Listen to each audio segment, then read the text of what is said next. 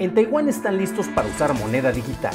SuoRat es un malware muy peligroso y tenemos los costos y fechas de lanzamiento de VIX Plus. Estas son las noticias de Tecnología Express con la información más importante para el 30 de junio de 2022. Un equipo de investigadores de Black Lotus Labs de Lumen Technologies dieron detalles sobre un malware personalizado altamente sofisticado llamado SuoRat. Este infecta los enrutadores domésticos y de pequeñas oficinas creados por Cisco, Netgear, Asus y Draytech. Una vez infectado, SureRat encuentra todos los dispositivos conectados y el actor malicioso secuestra los protocolos DNS y HTTP para instalar más malware, siendo capaz de infectar sistemas con Windows, Linux y macOS. Debido a que se ha enfocado principalmente en organizaciones estadounidenses y de Europa Occidental, parecería ser un ataque patrocinado por algún gobierno ajeno a estos grupos. El mercado de NFTs OpenSea advirtió a los usuarios que un miembro del equipo del proveedor de correo electrónico Customer.io abusó del acceso de los empleados para descargar y compartir las direcciones de correo electrónico de esos usuarios con un tercero no autorizado. OpenSea dijo que si alguna vez les enviaste un correo, debes asumir que fuiste afectado. Customer.io dijo que no quería que se hubieran comprometido otro tipo de datos de sus clientes. Apple publicó detalles sobre la manera en que permitirá que los desarrolladores en Corea del Sur puedan ofrecer el uso de sistema de pagos de terceros de sus aplicaciones de acuerdo con la legislación local. Apple calificó a los proveedores de pago KCP, Inisys, TOS y NICE para ser usados dentro de su tienda de aplicaciones. Los desarrolladores deberán usar el derecho de compra externa de StoreKit, Funciones como preguntar antes de comprar y compartir en familia no podrán usar el pago de terceros. Apple cobrará a los desarrolladores una comisión del 26% por usar estas transacciones.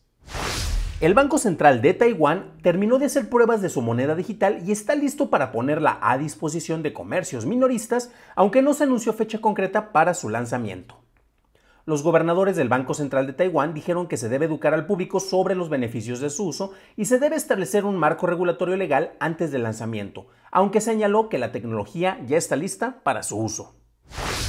Pasamos a la noticia más importante del día, y es que Televisa Univision había anunciado el lanzamiento de VIX, su servicio de streaming, el cual contaría con dos niveles, uno gratuito que está disponible desde el 31 de marzo y finalmente llega la versión de paga, VIX Plus estará disponible a partir del 21 de julio con un costo de 119 pesos al mes en México y 6 dólares con 99 centavos en Estados Unidos. Su propuesta más fuerte viene con los deportes, ya que anunciaron que tendrán más de 3.000 partidos en vivo en el año y habrá partidos de la Liga MX que solo estarán disponibles en la versión de paga. Habrá 200 partidos exclusivos en vivo de las ligas de Expansión MX y la Liga MX Femenil, así como se contarán con partidos del Mundial de Qatar. Por otro lado, se contarán con 20 canales de televisión en vivo, provenientes de Televisa, películas exclusivas como Mi Reyes contra Godines 2, El Retiro y Enfermo de Amor, que estarán disponibles en su lanzamiento, así como series originales como La Mujer del Diablo, María Félix, La Doña y Mi Vecino el Cartel, con casi 70 series más a estrenarse durante su primer año. Esas fueron las noticias y ahora pasamos a la discusión. Y me llamó mucho la atención que no únicamente en medios nacionales, sino también en medios del extranjero, de hecho aquí estamos tomando la nota de Variety y también en Deadline precisamente o en el Hollywood Reporter, se menciona precisamente sobre la fecha de lanzamiento de VIX Plus. ¿Por qué pasa esto? Bueno, eh, no es tal vez nada más algo que afecte únicamente a México, se lanza también en Estados Unidos y el tipo de mercado al cual se están enfocando concretamente es el mercado, sí, de habla hispana, del cual tiene una gran presencia en Estados Unidos. No van a ser los números este, completamente dominantes, pero es curioso porque en el modelo de negocios de Televisa Univisión, incluso antes de su fusión, recordemos que ellos ya tenían eh, varios eh, acercamientos con el público estadounidense, el público latino e hispano que vive allá, eh, precisamente con productoras como Pantaleon Films, que es una asociación con Lionsgate y Videocine, en el cual creaban películas que se estrenaban primero en Estados Unidos y después llegaban a México. Y parte del fenómeno y del éxito que tenían con esto es que se estrenaban allá, en un fin de semana pagaban prácticamente la película con los ingresos en taquilla y descontando distribución y todos estos detalles. Y después eran puras ganancias, ya que no, ya que no costaba tanto porque se producían aquí en México. Después, ¿qué es lo que ocurría? Se lanzaba en México y aquí ya sabemos que tenemos a muchos exquisitos del cine. Esto lo pueden checar en mi canal de churros y palomitas, pero aquí vamos a enfocarnos más en el manejo de plataformas. Pero muchos de los exquisitos dicen que odian el cine con Derbez, que no les interesa lo que produce videocine, pero una realidad es que su contenido es el que más se ve, es el que más se distribuye. Y todo lo que pasaba después de estrenarse en Estados Unidos, en México eran más ganancias y era un modelo de negocios que honestamente les ayudaba mucho. Tenemos la fusión de, Univision con Televisa, se consolidan en esta empresa, se enfocan en un público más grande, la plataforma arranca con los precios que ya dimos aquí, 119 pesos en México, 6.99 en Estados Unidos y va a ser un costo, conviertan el dólar a sus, monedas locales para que sea más fácil, porque va a estar disponible en todo, todos los países de habla hispana del continente y tentativamente se va a poder ofrecer después en España. No tenemos las fechas todavía de esto, pero ya tenemos tanto su fecha de lanzamiento como los costos. Y es interesante porque, bueno, se mencionan distintas producciones originales, es un contenido en el cual van a poder ofrecer mucha mayor calidad de producción y cantidad de producción que, por ejemplo, en varios casos con lo que ocurre incluso con HBO Max o de lo que ocurre con el mismo Netflix. Y no es porque tengan series malas, pero a final de cuentas ellos no producen volumen, compran producciones que se han hecho para otros eh, canales y mucho de lo que compraban honestamente eran las obras y no ofrecían gran cantidad de calidad.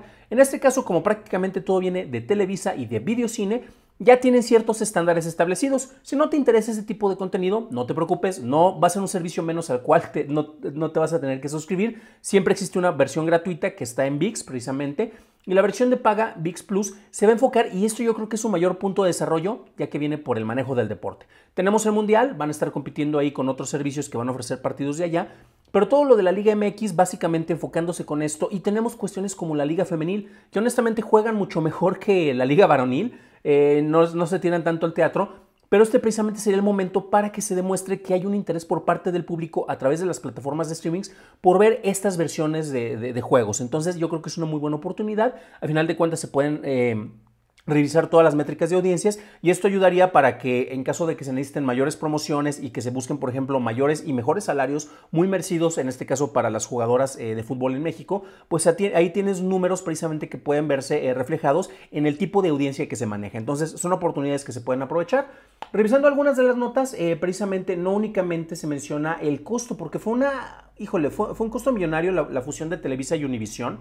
Eh, fueron 4.8 billones, billones de Estados Unidos, 4.800 millones de dólares, como lo manejamos en español, con la numeración larga, que fue una fusión impresionante, pero ni de chiste fue de las más grandes. Creo que se quedó por ahí en el top 8 de, fusiones recientes, pero al final de cuentas, como se enfoca en el público latino, es algo muy importante. Se menciona que va a haber producciones por parte de, personas como Eugenio Derbez, Elena Gómez, por ejemplo, y un comentario muy particular que dice Pierluigi Gasolo, que es el presidente y jefe de transformación eh, de las oficinas de Televisa Univisión. Él dice que VIX no va a ser eh, el tratar de reciclar nuestra oferta de contenidos, y creo que esto es lo más importante.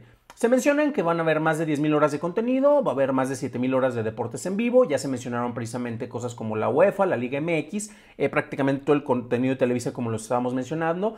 Algunas de las cuestiones que me llaman la atención, los estrenos como Mi Reyes contra Godín, es una película que puedes amar o puedes odiar, pero que se lanza la segunda parte este mes que de su lanzamiento precisamente para finales de julio este, se va a lanzar precisamente en la plataforma para ver qué tanto este, llama la atención. Vamos a ver si es un day and date, que significa que una película se lanza al mismo tiempo en salas de cine o si únicamente va a estar lanzada en streaming. Vamos a ver qué tal les funciona, porque hay veces que se lanza acá como, el modelo que utilizó HBO Max para subir el perfil, pero vamos a ver cómo funciona. Pero bueno, al punto que quería llegar es que el manejo de que no sea únicamente reciclar contenidos, yo creo que es lo más importante. Para eso se cuenta con la plataforma gratuita en el cual puedes volver a ofrecer cuestiones que ya tienes, puedes ver todas tus telenovelas de María la del Barrio, María Mercedes, este, Marimar, etcétera, las tienes allá pero el hecho de que se cree contenido nuevo yo creo que es algo muy valioso. Ojalá esto se vea reflejado por todas las personas que trabajan o que hemos trabajado en su momento en la industria de la televisión, porque a final de cuentas una cosa que pasó con el modelo de Netflix, se los comento acá nada más entre nosotros, es que tristemente se abarataron mucho los costos de producción, ya ha habido broncas, eh, hace unas semanas hubo un accidente muy terrible por parte, por parte del equipo de producción de la serie de, basada en el cómic de Chosen de, American Messiah, de, de Mark Millar, este, American Jesus, perdón, y es muy triste y pues muchos de los puntos que saltaron ahí fue de que pues sabes que a los trabajadores estaban siendo sobreexplotados con el manejo de horas, que es algo que se normalizó porque en el streaming te pagan menos que en el cine o muchas veces menos que en la televisión. Entonces esperemos que con toda esta creación de contenido por lo menos se mejoren las condiciones salariales para todas las personas que trabajan en este medio. Pero bueno, ¿ustedes qué opinan de esto? ¿Están interesados y están ansiosos por ya tener su nueva suscripción para tener todo el contenido que les ofrece VIX Plus o VIX Más? Eh, pues si es así, déjenme su comentario, ya que me interesa saber su opinión. Para un análisis más a detalle en inglés, visita dailytechnewshow.com en donde encontrarás notas y ligas a las noticias. Si encontraste útil la información de este episodio, me lo puedes dejar saber dejando una calificación positiva en Spotify y en Apple Podcast. Y también nos puedes dar un like en YouTube que no te cuesta nada. Gracias a todos ustedes por acompañarnos, nos estaremos escuchando en la siguiente transmisión y deseo que tengan un genial jueves.